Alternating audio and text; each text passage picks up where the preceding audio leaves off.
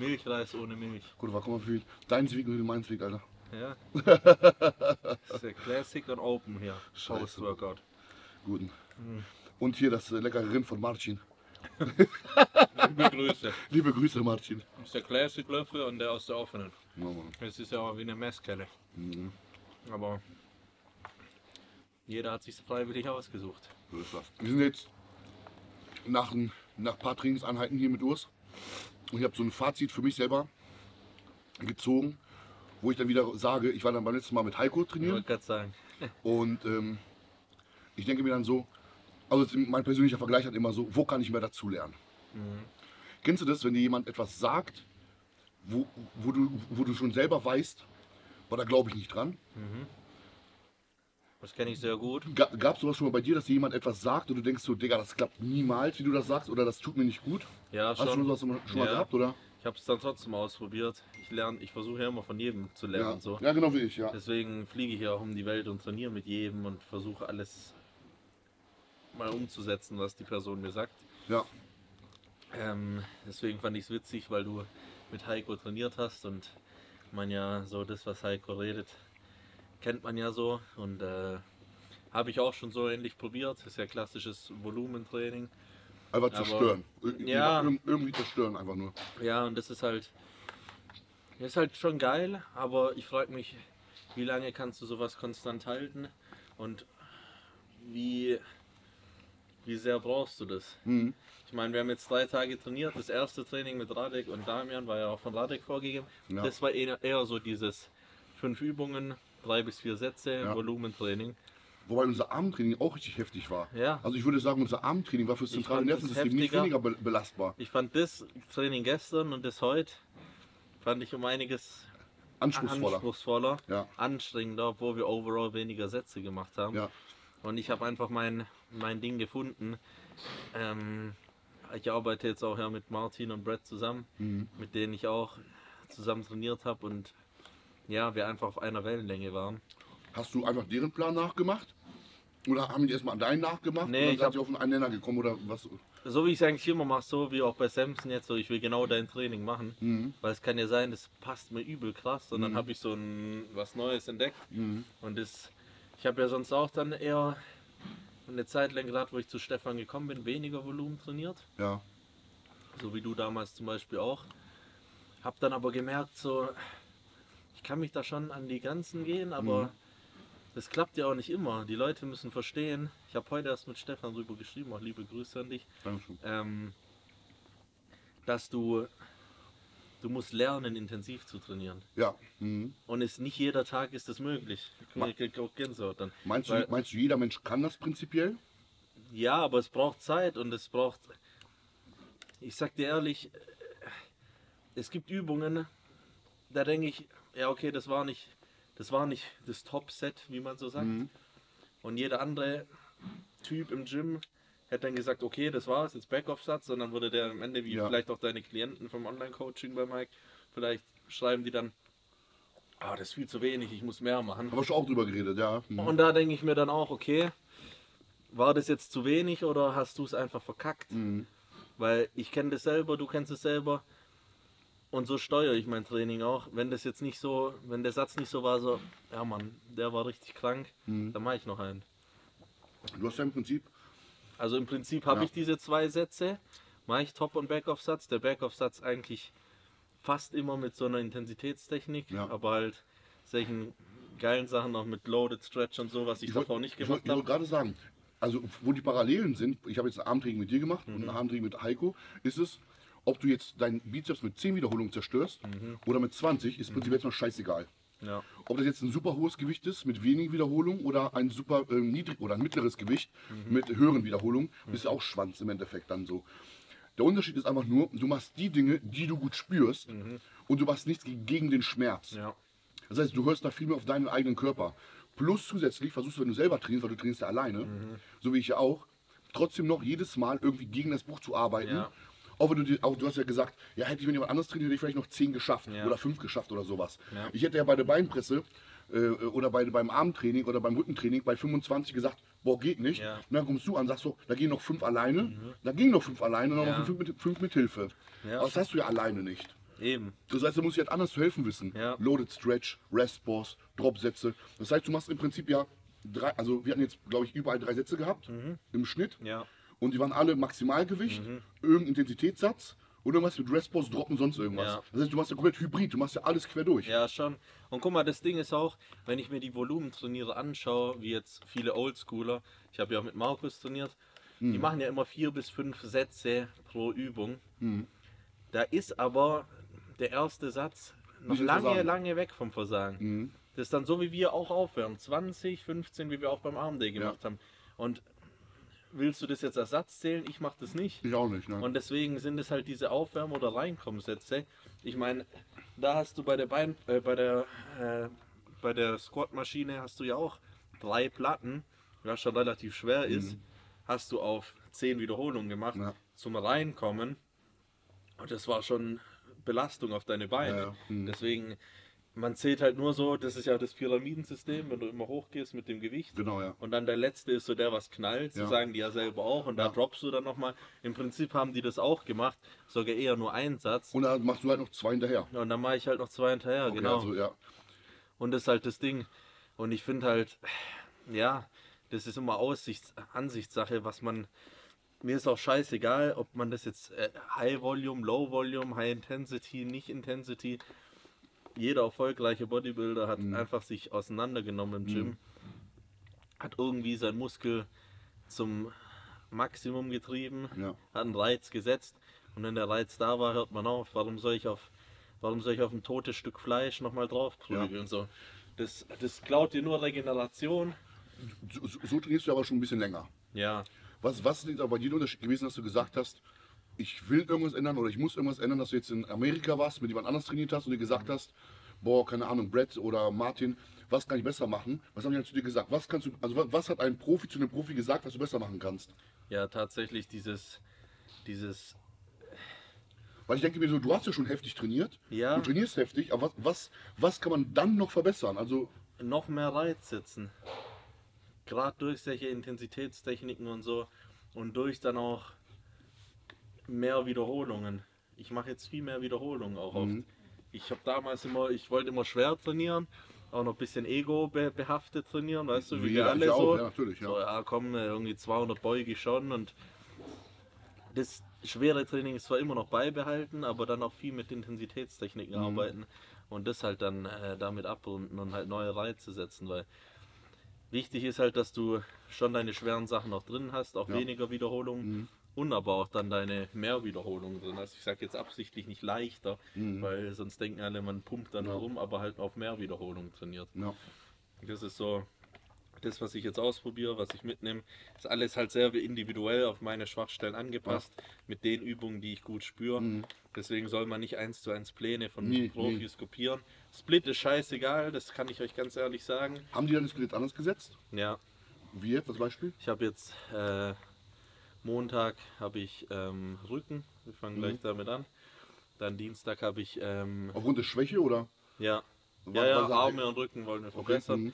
Deswegen Rücken zweimal die Woche und Arme zweimal die Woche. Also wir haben Rücken am ersten Mhm. Tag, wir haben ähm, Schulter, Arme, Schulter, Ja. zweiten Tag, Beine heute, Ja. dann Rest, dann wieder Rücken und dann Brust und Arme nochmal und dann wieder Rest. Okay, also hast du dann im Prinzip am ersten Tag Rücken Ja, und, Und nach am- dem nächsten Rest Day wieder und am fünften Tag Rücken. Ja, nach jedem Rest Day wieder Back. Okay, verstehe. Mhm. Und Chest, ähm, und Chest und Schul äh, Schultern hast du einfach nur, weil du nochmal, de deine Brust ist ja nicht schwach. Warum hast du dann nochmal die Schultern? Ah, nee, du hast ja nur einmal die Ja, Brust einmal die drin. Brust, also einmal Brust, Schultern drin. Ja. Zweimal Rücken. Wo hast du dann die Arme zweimal? Ne, ich habe Brust und Arme Mhm. und ich habe äh, Arme und Schultern. Achso, also, okay. Also nochmal äh, Rücken, Mhm. ähm, Rücken, Arme, Schulter, Arme, Schultern, Beine, Beine, Pause, Pause, Rücken nee, ja, ja, Rücken Ja. und dann Chest und Arms. und dann Chest und Arms. Okay. Ich piss mir in die Hose, sorry. Schon wieder. Was hast du mir Astragalus Guck mal. Ja, Urs ist, glaube ich, heute das äh, 20. Mal schon wieder pissen. Also, ähm, ja, aber interessant. Also, das heißt, Urs hat im Endeffekt nur einen anderen Trainingssplit, hat vorher schon hart trainiert und das Einzige, was er jetzt macht, ist Identitätstechniken mit mehr Wiederholungen. so wie ich das verstanden habe. Ich bin leider auch nicht immer so, ich äh, will auch immer mein Ego äh, besiegen und so viel wie möglich, so viel Gewicht wie möglich kloppen, auch unsauber. Und dann merke ich aber wieder hierum, äh, bei dem Training mit Urs, dass alles scheiße anstrengend war und es der Classic-Typ alle gefickt hat einfach. Also gestern die Men's ähm, Open-Jungs auseinandergenommen, mich auseinandergenommen und dass der Urs da auch sich selber jedes Mal auseinander nimmt. Und das ist halt einfach eine Kunst, die kann halt nicht jeder, die muss man lernen, wie er gerade gesagt hat. Nach einer kurzen Toilettenpause geht's weiter. Die Pflicht hat gerufen, ich musste mal wieder Wasser lassen. Ihr kennt, ihr kennt mein Problem. Ähm, ja, aber zum Großen und Ganzen, ja, rundet das eigentlich mein Training ab. Wie gesagt, neuer Split, für mich individualisiert. Ähm, zum Groben kann man sagen, sehr, sehr angepasst jetzt auf die Schwachstellen, ähm, die ich jetzt noch weiter verbessern will. Wenn man ein Gewichtslimit hat, muss man da noch präziser arbeiten tatsächlich.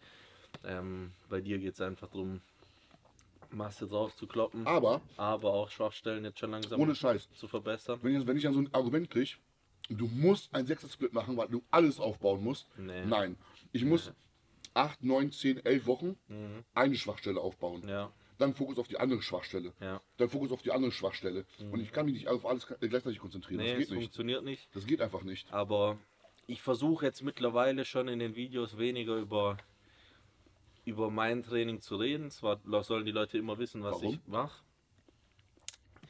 Weil es nicht gut ist, dass die Leute uns nachtrainieren. Also sich mal Übungen rauszunehmen, Ja. die ein Mike macht, die ein Urs macht. Das Aber hast du das nicht früher auch gemacht? So Doch. Zeitschrift oder doch, sowas? doch, doch, auf ja, jeden ne? Fall. Okay. Aber es war war, genauso. aber in der Zeitschrift waren auch sehr allgemeine Trainings noch, wenn du Ja, dich das zurückerinnerst. das Vier war Jays vier Fünfer Sätze. Split. Ja, ja, ja. Und da hat es halt angefangen mit Schrägbank, mit Flachbank, mit Fliegende. Mhm. Ja, vorbei. Und ihr müsst keine verschissene Übung irgendwie so oben am Kabel, Iliac Pulldown oder sonst was machen, sondern ihr müsst die Basics machen. Heißt jetzt nicht äh, Kabelruder, Langhantelrudern, äh, Klimmzüge. Wenn ihr jetzt zum Beispiel wie ich oder Mike auch enges Rudern am Kabel nicht richtig für den Rücken spürt, dann findet es selbst für euch raus und dann ändert die Übung. Ja. Und das versuche ich immer den Leuten jetzt mittlerweile auf den Weg zu geben. Mehr auf sich selbst zu hören, nicht nach rechts und links die ganze Zeit zu gucken, für sich selber rauszufinden, was funktioniert. Das ist der Spaß am Bodybuilding, das ist der Prozess dieses Ganzen.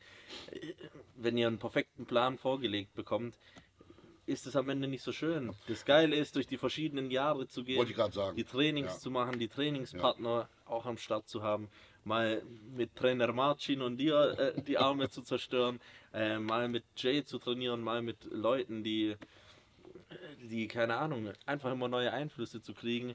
Lebensmittel genau dasselbe, deswegen hört nie auf zu lernen, probiert das aus, was für euch funktioniert. Amen, ja. Und mit den Tipps kann man eigentlich gut durch eine Bodybuilding-Karriere gehen. Ja. Und ihr verschenkt da auch keine Jahre oder kein Potenzial, solange ihr euch den Arsch im Gym aufreißt, euch genug auch Regeneration gibt, ganz wichtig.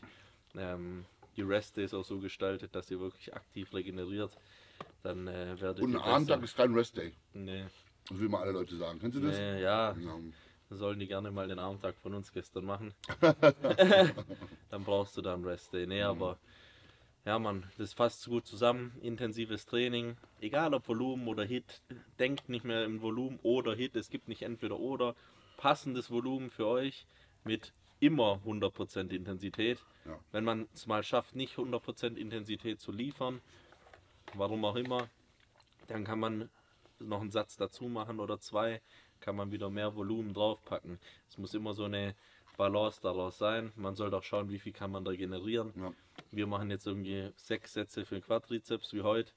Ja, oder ja gut, heute haben wir ein bisschen mehr gemacht, aber ja, heute waren mehr. Ja, ja. ja, aber das, das können wir noch regenerieren.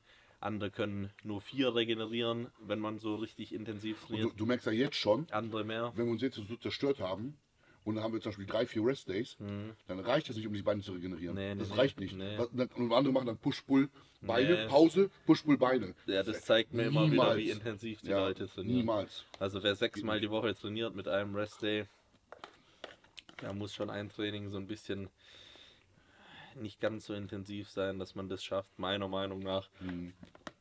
Aber ich lasse mich da gerne belehren und ja, Ja. das rundet so ab, das ganze Trainingsding. Ist schon immer sehr interessant, aber ganz ehrlich, bleibt bei den Basics. Ich, ich finde es immer lustig, so die, die Leute wachsen immer am besten, die sich keine Gedanken drüber machen. Ist so. Und je mehr ich auch selber gelernt habe, desto Ja. mehr verkopfst du dich. Und jetzt mittlerweile denke ich mir schon seit ein, zwei Jahren so, ey, ich lerne immer Neues dazu, aber ich mache nur noch das, was mir passt. Ist so. Und Mir, ist auch sorry, dass ich Ja, unterbreche, aber mir ist scheißegal, welche Studie rauskommt, Mhm. welcher Guru das sagt Ja. oder das sagt. Ja. Ich mache einfach nur das, was mir passt. So. Und Ich- wenn ich irgendwie wie heute selber auch so. 50, 50 Wiederholungen am Strecker mache und es sich geil anfühlt und ich Spaß daran habe, dann mache ich das. Ja. Und davon bin ich fest überzeugt, weil Das eine ist die Theorie, das andere ist die Praxis. Ja. Ist einfach so. Ist einfach so. Ich, lerne das- ich, ich lerne das immer selber auch. Mhm. Ich habe zu meinem Coach, ah, Lukas, die und die Übung würde ich gerne damit tauschen. Er sagt, Mike, mach doch. ja, schon. Er sagt, solange du diese fünf Übungen machst, so intensiv wie es möglich ist, Ja, dann wächst dein Rücken sowieso. Oder wächst halt nicht, weil du genetisch scheiße bist. ja. Aber das, was du am besten triffst, was du am besten spürst, das hilft. Ja, das Fertig, stimmt. Ende aus. Ja, also um das gut zu halten, mich interessiert, was du machst, habe ich gerade schon gesagt, wo du weg warst. Mhm. Die Leute sicherlich auch, weil ich will auch mal dazu lernen und du hast so viele heftige Profis getroffen. Ja, und im Endeffekt konntest du für dich das Beste raussuchen. Und ich denke, dass wir so ähnlich voneinander sind vom Trainingssystem her. Und wenn du dir sagst, okay, das brauche ich, das brauche ich nicht, hätte ich wahrscheinlich ähnlich argumentiert wie, wie du Safe. oder genauso argumentiert. Und weißt du, was das Lustige ist? Egal mit welchem Olympia-Champ ich trainiert habe, jeder hat anders trainiert. Mhm. Und jeder ist am Ende des Tages zum Olympiasieg gekommen. Mhm. Ob es ein Yates war mit seinem einem Satz oder ob es ein Coleman war mit 400 Kilo Kreuzheben Mhm. oder ob es ein Jay Cutler war mit High Volume, Volume und Pumptraining. Mhm. Alle haben Oder Samson jetzt. Oder Samson jetzt mit zwei Übungen zusammen kombiniert. Oder Derek, mit dem habe ich auch trainiert. Das ist- war auch nochmal was anderes. Geil, stimmt, ja. Also weißt du, Nick Walker auch, der macht zum Beispiel so Raps in Reserve und sowas. Ja, ich weiß, also ich weiß. klar, man belächelt es so und wir haben, feiern das halt nicht so. Aber selbst das, muss man sagen, funktioniert dann irgendwo. Dennoch muss man halt immer sagen, jeder von den Leuten, die erstmal so schwer wurden, die so. Ja. groß wurden, Haben- haben so trainiert wie wir jetzt ja, gerade. und jeder weiß, wie man intensiv trainiert So, von denen. also das muss man sagen. Nick Walker hat nicht mit 90 Kilo so Nee. trainiert wie jetzt, sondern hat Ja. sich noch mit den Arsch aufgerissen. Ja. Und also ich würde behaupten, jeder von denen hat so trainiert wie wir jetzt. Ja, also um jeder, zu jeder weiß, was Intensität Richtig, ist. genau. Und jeder passt jetzt halt sein Training dementsprechend an und hat es dementsprechend für, verinnerlicht für sich. Amen. Und das rundet die Trainingsgeschichte gut ab, aber darüber könnten wir noch stundenlang reden. Eben. Also schreibt, Also- mal, schreibt mal aber auch eure Meinung rein zu den Trainingssystemen. Was sagt ihr dazu? Mir geht es mittlerweile auf den Sack, diese auch Lagerbildung, was Trainingssysteme angeht und dass da irgendwie so, ah, das funktioniert besser, das. Ja, warum alle Künstlerathleten trainieren doch scheiße? Ja. Stefan macht selber schon Spaß über sich selber, weil alle immer denken, der so. Zweisatzprinzip Push-Pull-Beine, Ja. der sagt, der Split ist mir Ja, und 10 scheißegal. Sekunden negativ. Ja, aber Powernap das, zwischendurch. aber dass Diogo äh, sein Athlet anders trainiert, Wesley anders trainiert, ich anders trainiere, Mhm. alle seine elf Olympiathleten trainieren alle anders. Mhm. Aber alle wissen, wie man intensiv trainiert, oder fast alle. Und das ist halt das Ding. Ja. Und auf dem Level, glaube ich, musst du einfach für dich rausfinden, was funktioniert. Und wenn du, wenn du bei Stefan im Coaching bist oder bei dir und Mike dir zwei Sätze aufschreibt, Top und Back auf, dann guckst du den Plan an, denkst dir schon, Nerd ist zu wenig.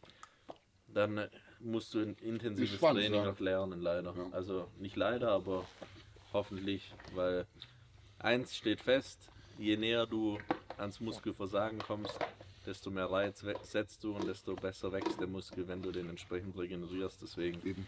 trainiert ans Versagen, trainiert hart. Wir sind raus. Das war's mit Polska. Genau. Vielen Dank, Leute. Daumen hoch, äh, Glocke, Glocke, Glocke an, abonnieren.